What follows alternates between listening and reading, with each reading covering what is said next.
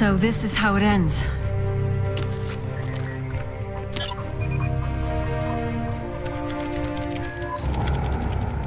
Today, the coalition of ordered governments ceased to exist. Chairman Prescott, he abandoned us some time ago. We can't pretend we're a government any longer.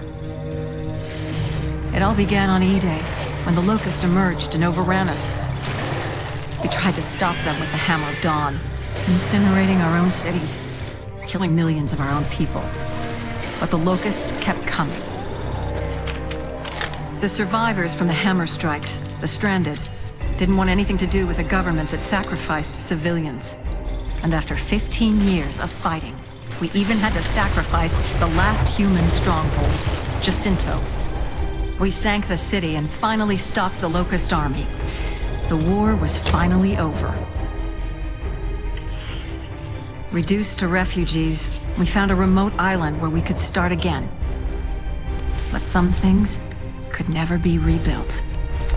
The broken hearts, the broken minds. Then a new enemy came after us, even worse than the last, the Lambent. Now they're spreading across Sera, killing everything in their path. We've held them off as long as we can. We're out of options. Our only hope now is to abandon the island and split up. Some of us are going to live on the remaining ships. Others want to risk going back to the mainland. Godspeed, Colonel. This is the former Lieutenant Anya Stroud, signing off. Now hear this. All hands prepare for leaving harbor.